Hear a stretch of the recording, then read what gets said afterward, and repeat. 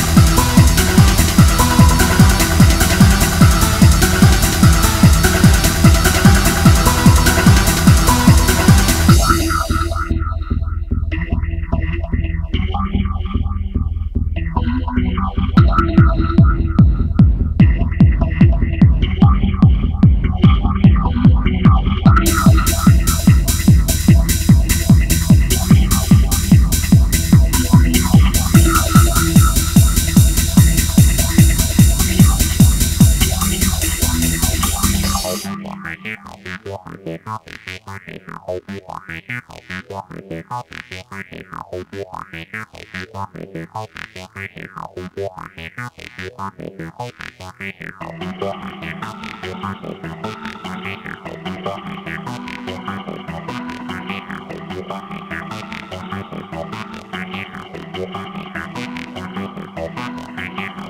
think God belongs only to you?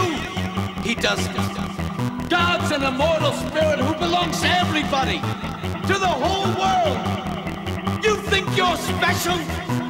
God is not an Israelite.